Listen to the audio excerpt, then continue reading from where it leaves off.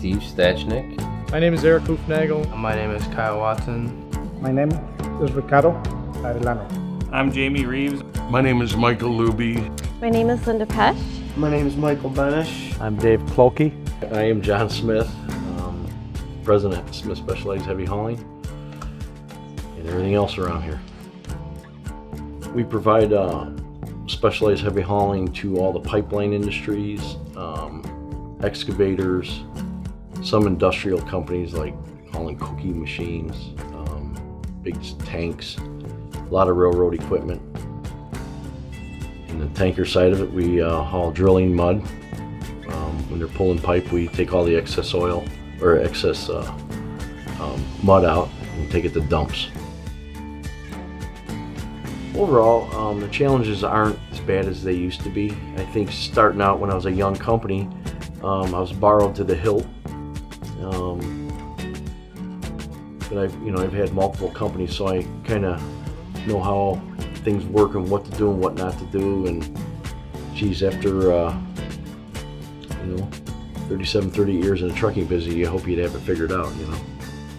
Steve is my general manager. He oversees um, all the dispatching, the trucking, 99.5% um, of the problems. And he does pretty well of shielding a lot of things from me.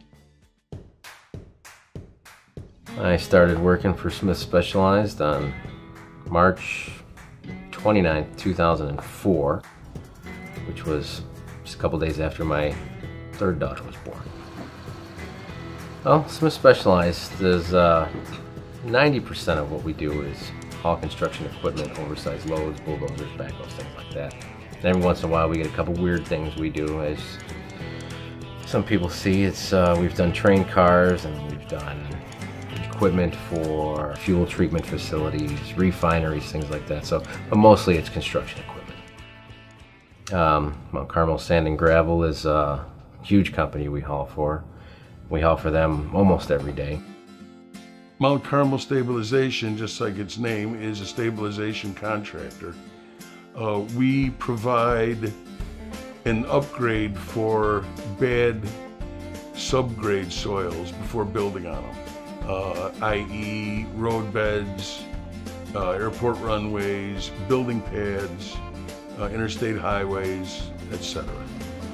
Smith Specialized started hauling our equipment around. I, it's, it's probably been about 10, 12 years ago at least. Smith Specialized Hauling, uh, Heavy Hauling, has helped our company continue to give quality service to our customers.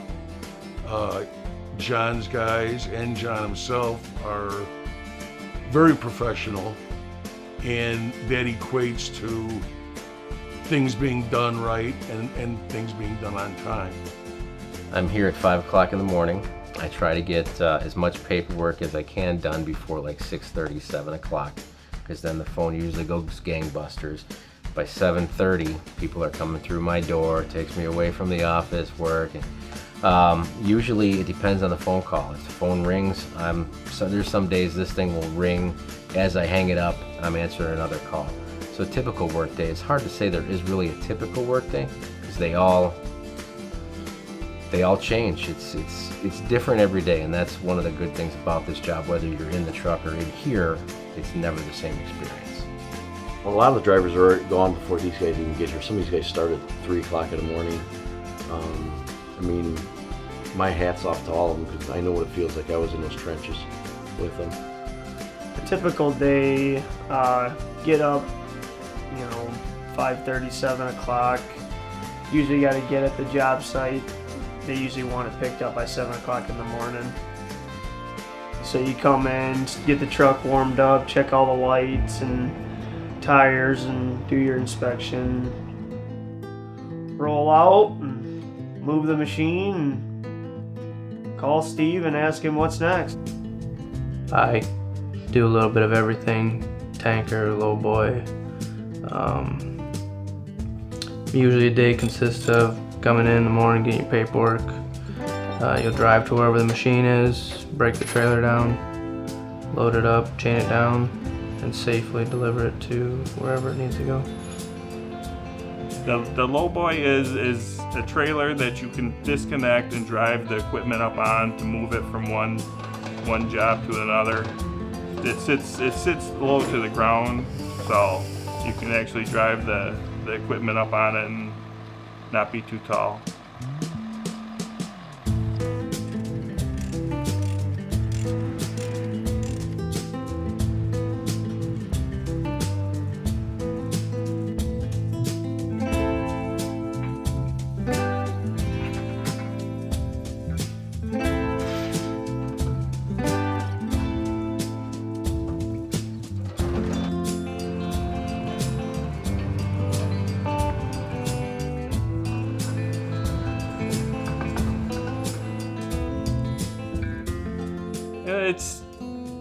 I would say John is more, you know, personable. You know, the, the owner, the owner of the company. He'll he'll get out there and work with you and and stuff. And I, and I think that makes it, you know, more personable.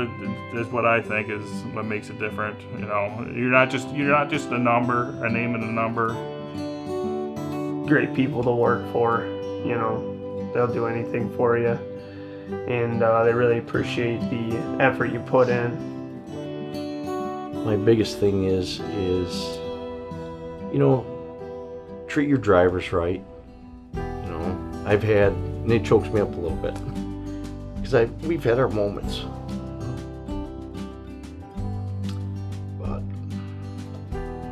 they're good.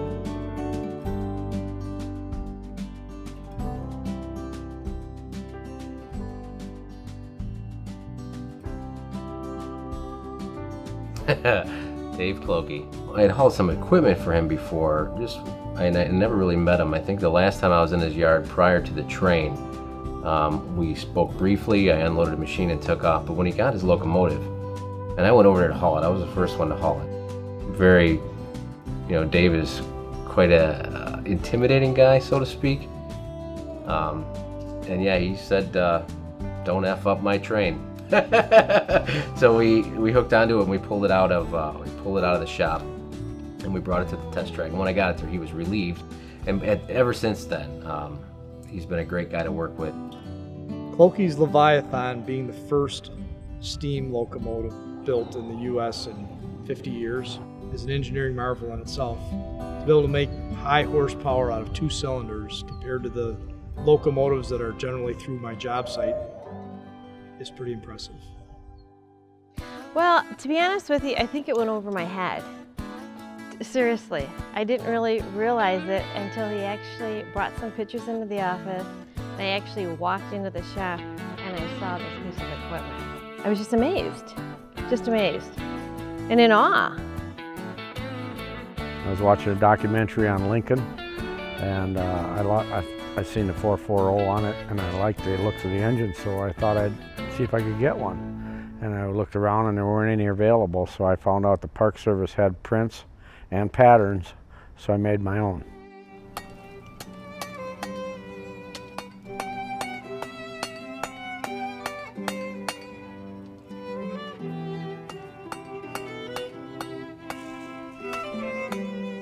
It was all about Lincoln more than the, the railroad. I wasn't really into railroading before that. We did so many things for the country that people don't realize. I mean, besides the slavery issue, he did the Transcontinental Railroad. He, he, he even he even signed in Thanksgiving Day as a national holiday. Most people don't know that. He always had a way of getting his, his agenda done. He, he never, if he thought he was going to have a lot of opposition, he never hit it dead on. He'd always work his way in from the back door or side door or something. I, I like that part of it too because he, he had an agenda, he usually got it done. Um, I don't know how he got it all done because he did a lot of other things. If you really study the man, he just amazing the, the things that he got done in this in a short term. If he'd run another term, this country would probably be a lot different.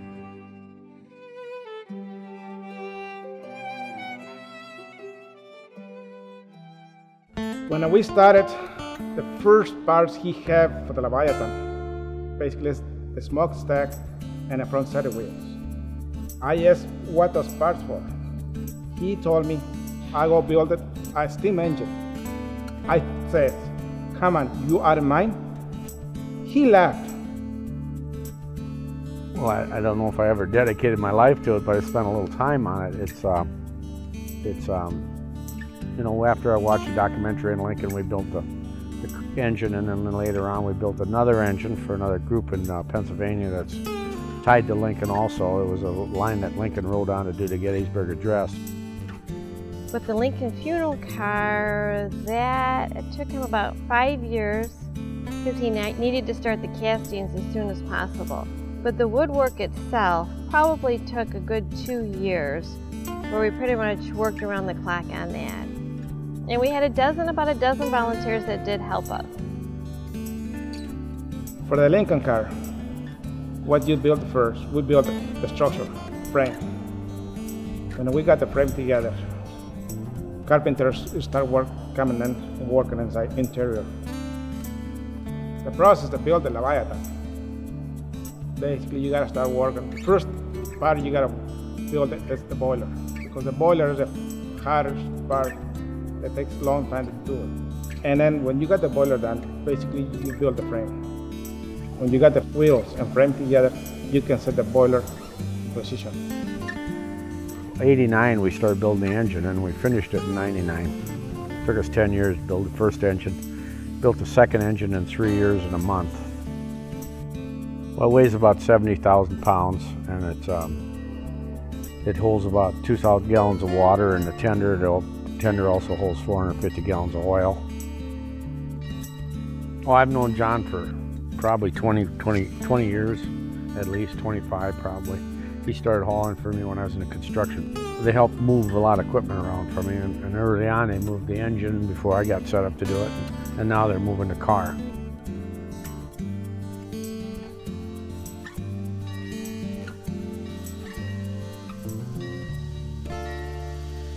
I think that train is special because it was built by two guys that are dedicated at what they do and put their heart and soul into it. And I think that makes that train special. Um, that locomotive and the tender, and then of course the, the Lincoln funeral car he built also just a significant piece of history and just amazing to watch the stages of that take place and then to see the finished product. Dave and Gatto, they just, uh, they're pretty amazing at what they do. Just think it's amazing that one gentleman had this vision, had this dream, and it really came true. Like I say, I come every day to work.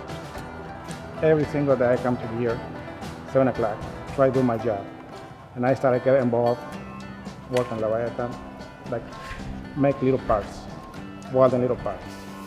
And eventually we get the thing done. When you see the engine running, when we got events, and I saw the engine pull some cars, I really enjoy it. That's my favorite part, right? The whole engine. It's a really beautiful engine. I just like to see it run back and forth and how smooth it runs. It just works well. When you see it come back through here, you won't hear it clanging or banging. It just runs really nice.